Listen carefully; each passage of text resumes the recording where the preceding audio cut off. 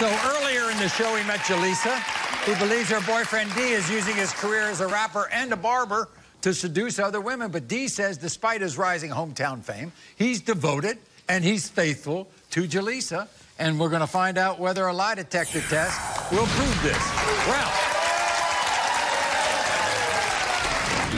During your relationship with Jaleesa, have you ever slept with any of the women you feature in your songs? You said no. The lie detector test determined you're telling the truth.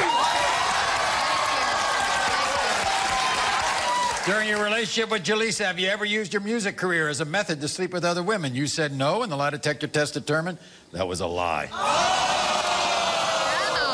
Ralph, what So happened? you use it as a sex symbol? You use it as a sex During your relationship with basically? Jaleesa, have you ever slept with a woman you met while working at the barber shop? You said no, the lie detector test determined that was a lie. Oh. You know this one, boy. Do you purposely aim to cut children's hair at the barbershop so you can sleep with their mothers? You said no, the lie detector test determined that was a lie. Really? That's what you're doing? That what you're doing? Y'all making me look bad. Have you ever disappeared during the middle of the night because you were sleeping with another woman? You said no, the lie detector test determined that was a lie. I knew that was gonna be a lie more because everything else so far been a lie. I ain't do none of I don't want to deal with that more.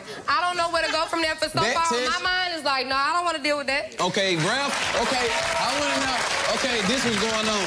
What are you gonna do? I, was, I don't know what to do. Right now, my mind is like, no, it ain't gonna work. Man, I'ma have but a drink. I still love I need your a show drink. like how he said. I need a drink too. I need to go back home. I need. To, I just want to go home and you gonna have a drink, and I'm gonna get back to doing what I'm doing. I'm You was gonna already love you. doing what I'm you still gonna love you the same way. But you was already doing what you doing. Man, He- you know what? the lot of It's ti- done, period. Raphael, thanks for everything. It's already done. We'll be back after this. Thank you.